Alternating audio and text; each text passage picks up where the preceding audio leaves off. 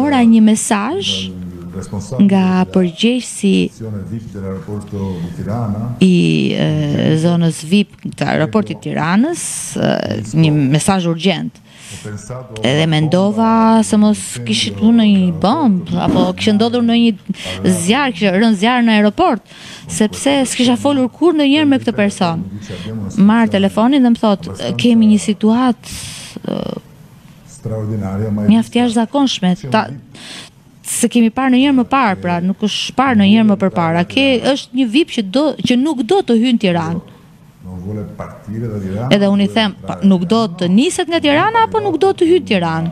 Jo, jo, një vip që ka ardhur i shoqëruar me policë, me gazetarë, që refuzon të hyjë, të lërë pra këtë zonën VIP, të dalë nga aeroporti dhe të hyjë në Tiranë sepse do të shoqërohet nga makina të blinduara, nga njerëz të armatosur.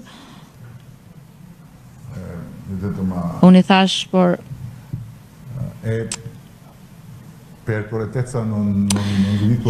Për korrektesë nuk po ju them se kush është, por ju them që është një politikan i rëndësishëm i një vendi të rëndësishëm.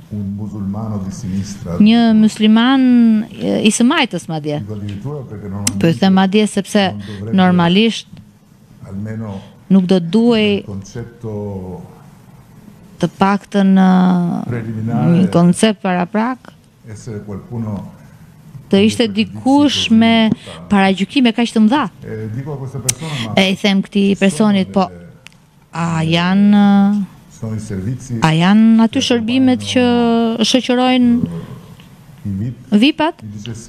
Po, më thotë ai, por ata janë të armatosur, por zotëria Nuk e quan pistoletën një armë të mjaftueshme për t'u futur në Tiranë. Edhe i thashë, po. I thoni atij zotërisë që ne nuk ofrojmë një shërbim për t'u futur në Kandahar. Ai mund të niset mbrapsht. nuk Strip di Gaza. Nuk ndodhet në atë pra, rripin e Gazës.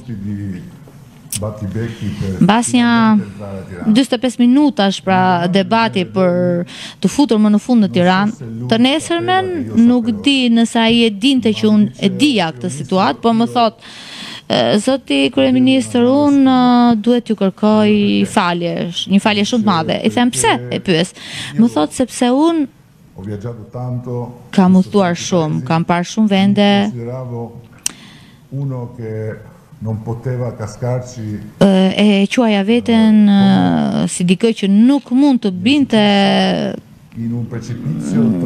Ashtu sikurse më ndodhi në një greminë që sikurse unë e prisja pra në një në një vend siç e prisja e sepse Shqipëria nuk ka të bëjë fare me atë që unë përfytyroja. Edhe unë i thashë, iu përgjigja, mos u bëni merak.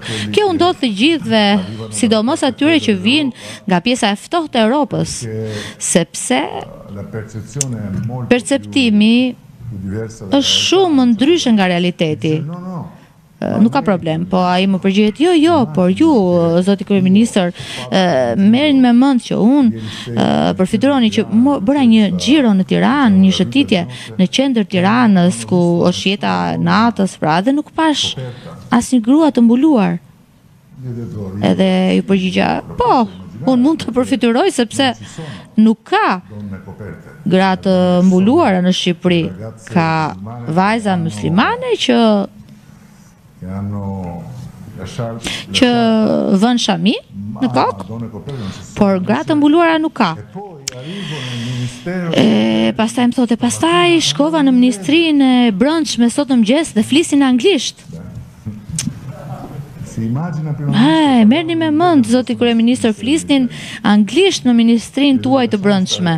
E i thashë, le, lëreni, lëreni këtë se, nëse ju jeni i befasuar deri në këtë pikë, gjithçka do jetë surprizë për ju. Dhe nuk e di nëse ju përfytyroni të gjenit një kryeministër të gjatë 2 metra në Shqipëri, për shembull, po le, le t'i lëmë këto. Le të vazhdojmë më tej dhe ju t'ia tregoni të gjitha këto publikut tuaj, sepse është publiku juaj, njerëzit tuaj që kanë nevojë t'ju dëgjojnë juve, jo unë.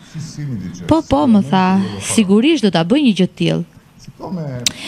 Edhe meqenëse nuk isha i sigurt që ai do ta bënte një gjë të tillë, i thashë uh, ambasadores sonë, ndiqe pak se çfarë do të thotë ky tipi kur të kthehet në vendin e tij. Dhe ai nuk tha gjëra të shëmtuara, si ato që thoshte më përpara se të vinte, sepse kishte ardhur për të luftuar të keqen në vendin e tij. Por nuk tha asgjë nga e gjitha kjo. Asgjë. Dhe unë i kalova një mesazh nëpërmjet ambasadorit dhe i thashë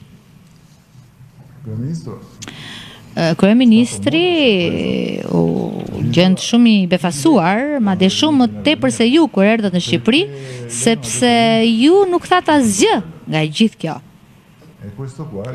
Dhe kjo përgjigjet, përgjigja e tij është e rëndësishme për këtë çështje.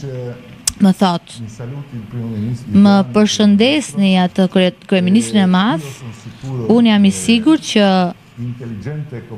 inteligjent siç është, zgjuar siç është, do ta kuptojë. Kjo është politika.